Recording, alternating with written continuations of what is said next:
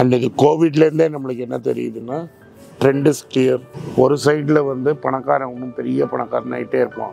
முந்நூறு சைடில் வந்து middle class and poor will get poorer and poorer Madras பாம்பேலலாம் minimum வீடு வாங்கணும்னா ஒரு கோடி ரூபா ஆகிடும் that is in a good location ஒரு கோடி ரூபா டீசென்ட் வீடு வேணும்னா ஹஸ்பண்ட் அண்ட் ஒய்ஃப் ரெண்டு லட்ச ரூபா சம்பாதிச்சாதான் முடியும். முன்ன மாதிரி எந்த வேலை கிடைச்சாலும் போக மாட்டாங்க பசங்க.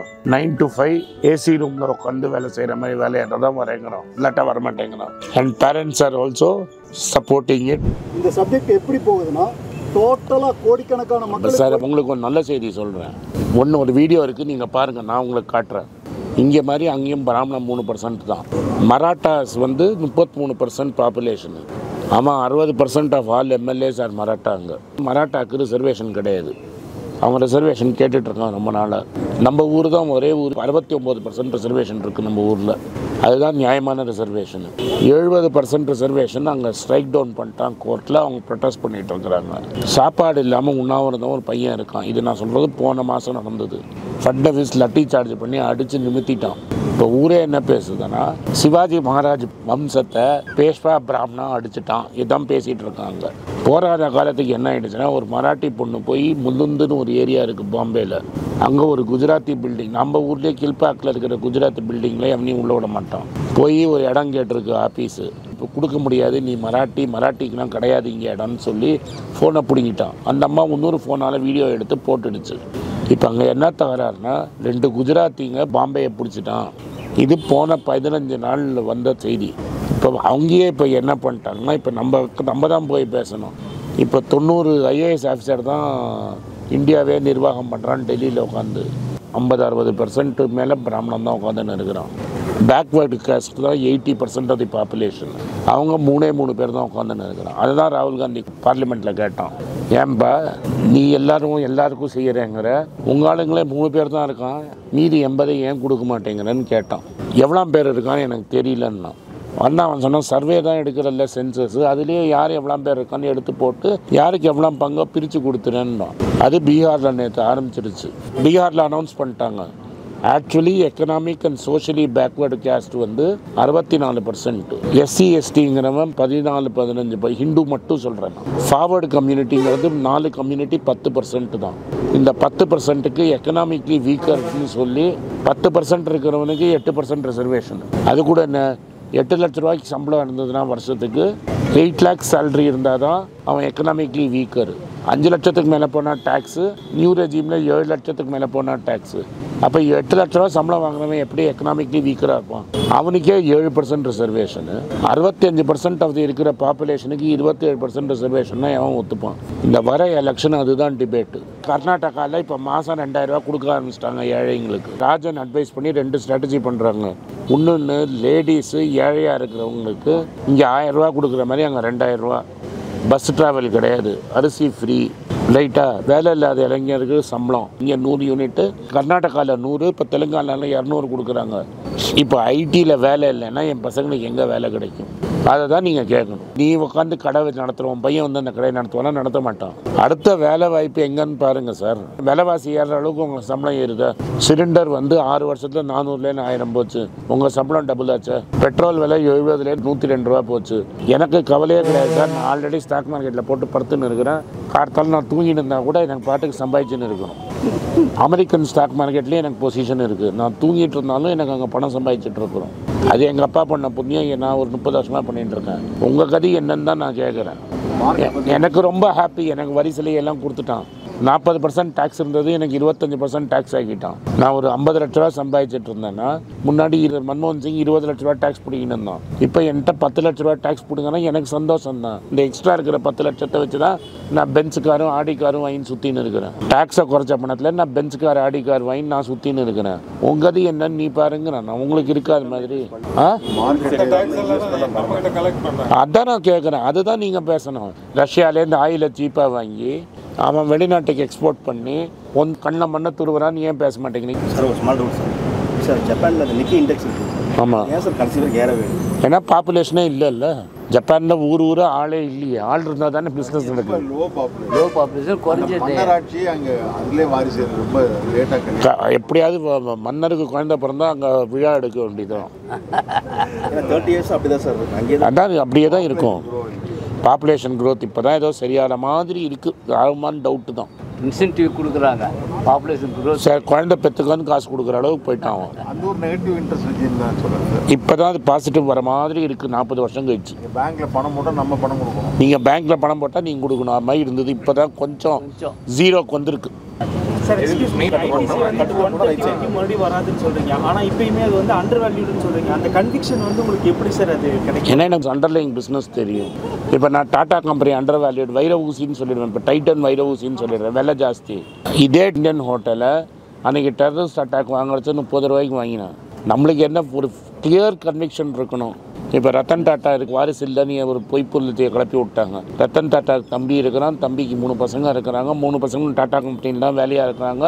ரத்தன் டாட்டாவோட தம்பிக்கு ஒரு பேரன் பிறந்துட்டான். பேரனுக்கு தாத்தா ஜம்ஷெட்ஜின்னு பேர் வச்சு ஒரு வயசு ஆயிடுச்சு அந்த நியோல் டாட்டாவோட மர்மக யாருன்னு பார்த்தீங்கன்னா டொயோட்டா கிர்லாஸ்கரோட ஓனர் ரவி கிர்லாஸ்கரோட பொண்ணு. ஸோ நாளைக்கு டாட்டா கம்பெனியில் எவனும் இருக்க மாட்டான் கம்பெனியை மூடி போயிடுவான் நம்ப நம்பாதீங்க.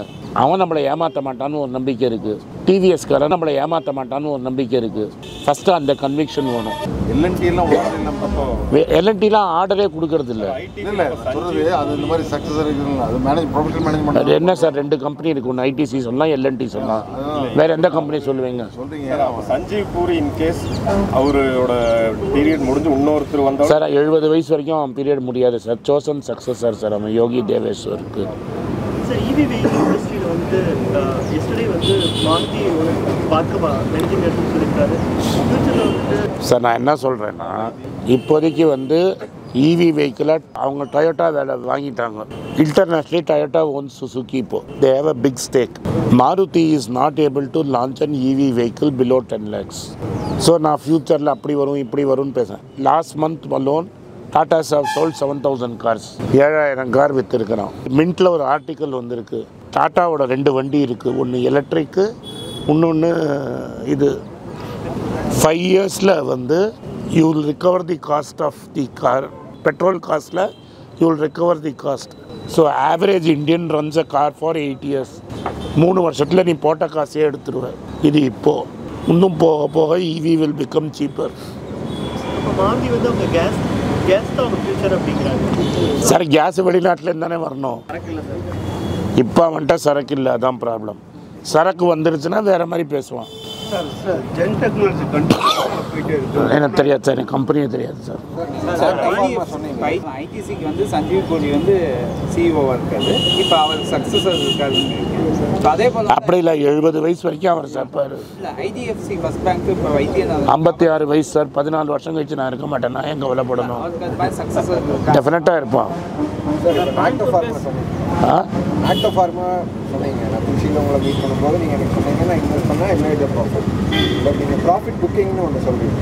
நான் புக்கிங் சொல்ல what I say is very clear நான் டிஃபன் காஃபின்னு சொன்னால் நீங்கள் எட்டு லட்ச ரூபா ஒம்பது லட்ச ரூபாய்க்கு வாங்கிடுவீங்க நான் டிஃபன் காஃபி தான் வாங்கி நீங்கள் இல்லை நான் ஏன் டிஃபென்ஸாக முன்னாடியே பண்ணிடுன்னு சொல்கிறேன்னா பிஜி இன்விட்டு நூற்றி நாலில் சொன்னேன். நூற்றி நாற்பத்தி மூணு போச்சு திரும்பி நூற்றி நாலுக்கு வந்தது. இருங்க. இம்பேர்மெண்ட் லாஸ் வந்தது. அது ஏன் இறங்குதுன்னு எல்லாம் மாற பிடிச்சிக்கிறீங்க. அவன் மேலே அமெரிக்காவில் ஒரு கேஸ் இருக்குது தொள்ளாயிரம் ரூபாலேருந்து எட்நூறுரூவா வரும்னு.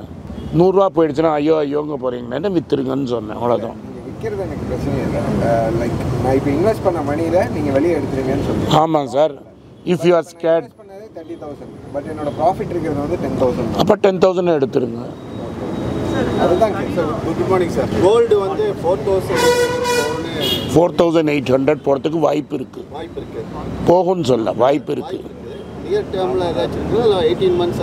சரி எயிட்டீன் மந்த்ஸுக்கு இப்படியே தான் இருக்கும். Between four thousand eight hundred to five thousand three hundred five thousand four hundred அந்த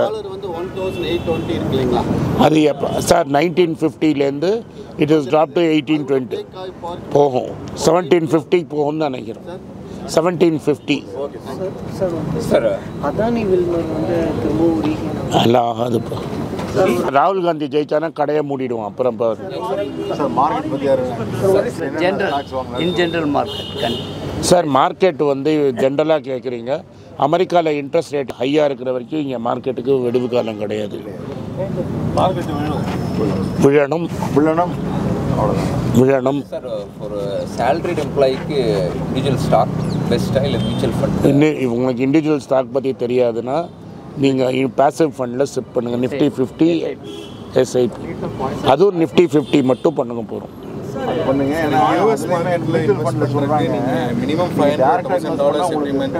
பண்ணுங்க. சார் சார் ஐநூறு டாலர் இல்லைன்னா it will not make sense for you to invest abroad fund of funds மாதிரி fund of funds you will lose more money direct fund வாங்க வேண்டியது.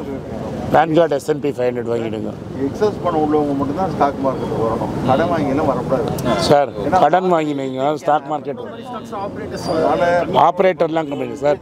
விப்ரோவில் என்ன ப்ராப்ளம்னா Premji own seventy five percent he does not want to let go of the company அவ்வளோதான் அந்த பணத்துக்கு ஃபாரின்ல வந்து எனக்கு ஆஃபீஸில் ஷேர்ஸ் கொடுத்துருக்காங்க. அந்த ஷேர்ஸ் எவ்ரி இயர் என்கிட்ட வந்து ப்ரிவிலேஜ் டேக்ஸ்னு ஒரு டுவெண்ட்டி பர்சன்டேஜ் வாங்குறாங்க. ப்ரிவிலேஜ் டேக்ஸ் இல்லை அது. ப்ரிவிலேஜ் டேக்ஸ்னு சொல்லி வாங்குறாங்க. யார் சொல்கிறான் ப்ரிவிலேஜ் டேக்ஸ்னு ஒன்றும் கிடையாது. அந்த டேக்ஸ் நம்ம ரெடம்ஷன் பண்ண முடியுமா? Sir Indian government tax collection at source பண்ணாங்கன்னா நீங்கள் டெஃபினட்டாக வாங்கலாம். TCS tax collector at source இருந்தால் வாங்கலாம். ரிசல்ட் ஷார்ட் டேர்ம் பற்றி கவலையே பட வேணாம் சார் ரூபா நூறுக்கு போயிடும் சார் அன்றைக்கி டெஃபினட் ஹண்ட்ரட் போகும். It only matter of time sir இந்த time world cup அடிக்குமா I hope so I hope and I pray sir வெறும் நிஃப்டி ஃபிஃப்டி மட்டும் போதும். இப்போ மார்க்கெட் நியூஸ் கரெக்டாக ஃபாலோ பண்ணி நான் எங்கே பண்ணுறது Business Standard Live Mint Economic Times Business Line